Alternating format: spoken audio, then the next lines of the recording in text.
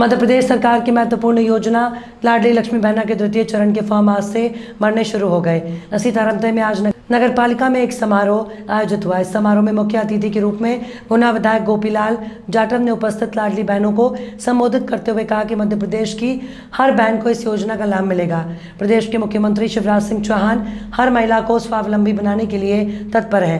कार्यक्रम में नगर पालिका अध्यक्ष सविता अरविंद गुप्ता ने सभी लाडली बहनों को बधाई देते हुए कहा कि मध्य प्रदेश के मुख्यमंत्री शिवराज सिंह चौहान हम सबके ऐसे भाई हैं जो अपनी बहनों की चिंता करते हैं। कार्यक्रम में सैकड़ों की तादाद में महिलाएँ उपस्थित थी। लाडली बहना योजना पुनः शुरू की है जो महिलाएँ रह गई थी उनके फॉर्म भरवाए जा रहे हैं तो आपका क्या कहना है?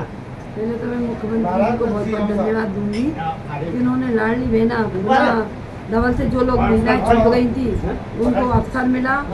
इससे बहनों में बहुत उत्साह भी था आज। तो, तो मुख्यमंत्री जी को हम धन्यवाद देते हैं कि जो 21 से 23 साल की एज की महिलाएँ जो थी वो भी अब इससे वंचित नहीं रहेंगे। और जो ट्रैक्टर वाली जो महिलाएँ थी, उनके नाम भी अब इसमें जोड़े जाएँगे। इसलिए मुख्यमंत्री को धन्यवाद देती हूँ। उन्होंने इस योजना का लाभ हमारी और बहनों को दिया और आगे भी मिलता रहेगा।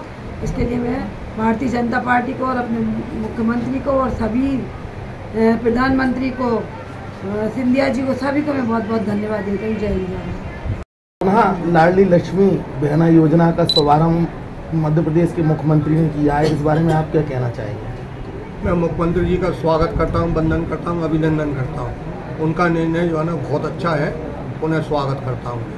जो हमारी लाडली बहना जो है ना, कुछ निराश रह रही थी, हो गई थी निराश, लेकिन उनकी चिंता जो है ना, जो भारतीय जनता पार्टी की सरकार है, माननीय शिवराज सिंह जी ने की है, उन्हें अभिनंदन करता हूँ।